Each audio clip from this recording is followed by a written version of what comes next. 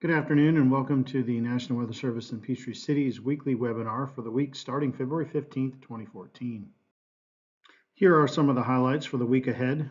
Mostly tranquil weather period is expected over the week. We do have a front moving through early Saturday morning with some light showers possible along that front.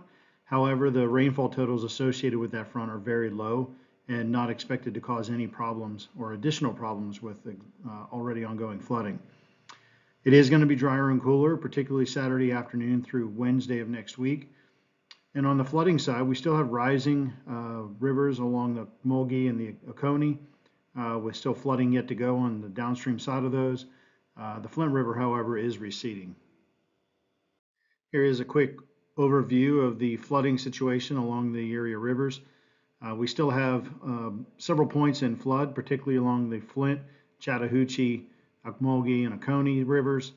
Uh, most of the rising rivers are along the Ocmulgee and the Oconee, where we still have moderate flooding, either expected or ongoing along the Ocmulgee and Oconee rivers. A look at the latest drought monitor that has been issued this week when we have a downgrade across much of the area with only a very small portion of extreme northern Georgia in a D0 drought. Here's a look at the latest satellite imagery across the southeast U.S. You can see mostly clear skies at the moment, some high clouds streaming over Florida and the Florida Panhandle. We will see increasing moisture with southeast winds ahead of an approaching front the next day or so. Uh, with that, we'll expect uh, clouds to increase Friday into Friday night ahead of the approaching cold front. Here's a look at the national map for tomorrow night, that is Friday night. You can see a cold front approaching across Tennessee, stretching back into Texas with much colder air coming down south out of Canada into the central United States.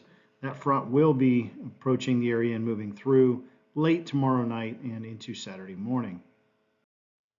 Here's what the national map should look like early Saturday morning with that cold front draped across the state and the colder air beginning to filter in from the northwest.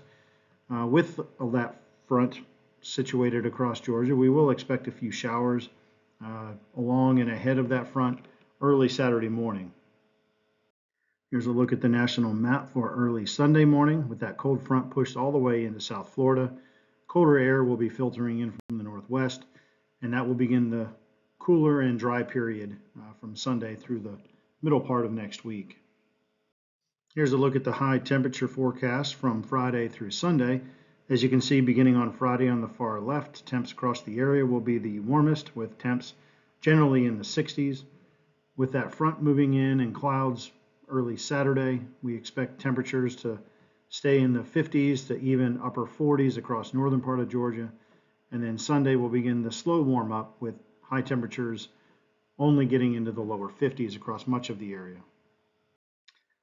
Moving ahead with the highs from Monday through Wednesday, you can see Slow rebound from Monday through Wednesday with temperatures in the upper 50s to low 60s on Monday, 60s generally area wide on Tuesday, and 60s and even a few 70s starting to appear on Wednesday. This is a look at the precip chances for the next seven days for a variety of cities across north and central Georgia. You pay attention to that early Saturday morning period when that's the best chance of rain. Uh, tends to be peaking across the northern part of the state uh, with lower chances as you move south. We do expect the front to be mostly dry as it moves through Saturday with no rain in the forecast until we get into late next week, Thursday and Friday. Rainfall amounts are expected to be very light with this front moving through and are not expected to produce any hazardous conditions or flooding. Here's a look at the temperature forecast for the next seven days for a variety of cities across north and central Georgia. You can see that overnight lows will be cold a Sunday morning with some locations dropping below freezing.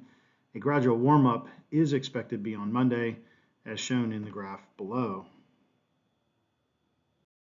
This is just a preview of the period 6 to 10 days, so this would be from about middle of next week into the weekend. We are expecting generally a above normal chance of above normal temperatures with below normal precipitation late into next weekend. That concludes this week's weekly briefing. If you have any additional questions or concerns, by all means reach out to us using one of the following methods located on the screen.